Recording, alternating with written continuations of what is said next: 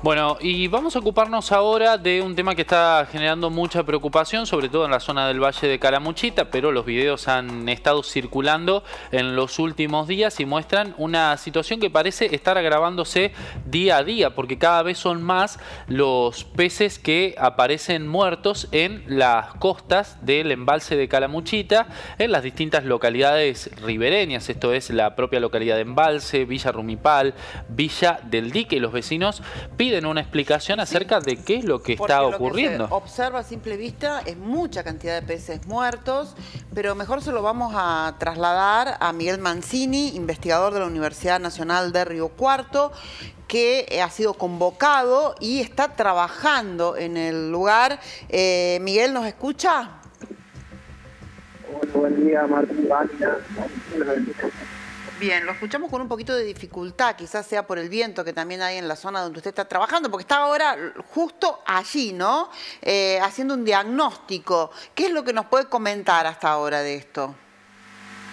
Sí, estamos ahora trabajando en la zona de los hoteles de embalse, colectando muestras y midiendo cantidad de peces enfermos, muertos, especies, haciendo más o menos un reconto de la situación ya venimos trabajando desde la semana pasada y bueno, estamos en, pleno, en plena etapa de estudio. Ahora, Miguel, es mucha, por lo que nosotros podemos observar en los videos que nos han enviado, es mucha la cantidad de peces muertos. Sí, sí, la cantidad es bastante, elevada.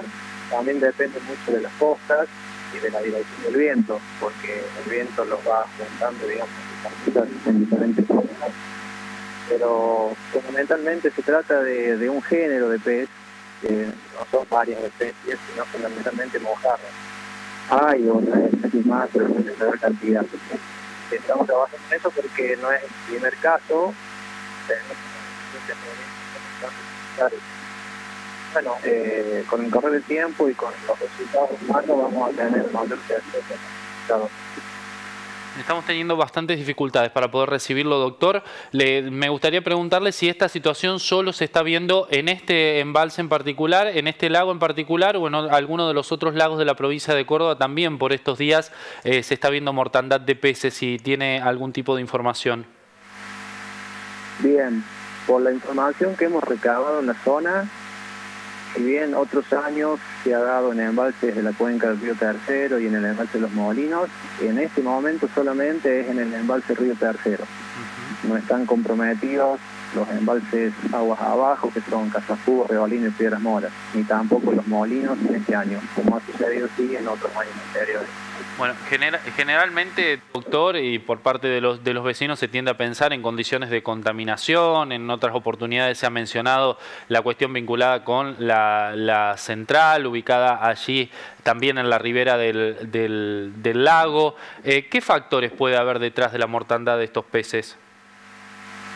Estamos en etapa de estudio, no, quiero arriesgar un pronóstico a priori por adelantado hasta no tener más resultados en la mano, pero eh, tenemos algunas pistas, quizás la semana que viene ya vamos a dar algún adelanto a nivel de prensa de la universidad. Bien, y mm, insistimos, Miguel, en algún adelanto, porque estas imágenes causan muchísima preocupación en la gente. Miguel, ¿nos escucha? Hola. Sí, Miguel, ¿nos escucha? Sí, se corta un poco porque hay mucho viento.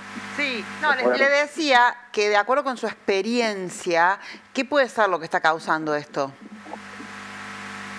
Eh, hay lo que se denominan complejos multietiológicos, Hay algunos agentes biológicos que venimos estudiando hace años, que están muy relacionados a variables ambientales, fundamentalmente la temperatura del agua. Como este año ha sido bastante frío, una de las hipótesis que estamos manejando es si la temperatura del agua puede haber influenciado en una baja de la defensa de los peces para que sean más susceptibles a esta mortandad. Bien. Bueno, doctor, vamos a estar atentos entonces a los resultados que puedan eh, surgir eh, acerca de, de esta investigación que están llevando adelante. Lo dejamos seguir trabajando, le agradecemos por este contacto.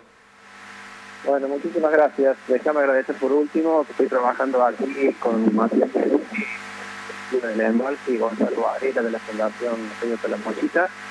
Eh, cualquier cosa estamos comunicándonos. Muchas gracias. Gracias. Perfecto, gracias. ¿eh? Gracias.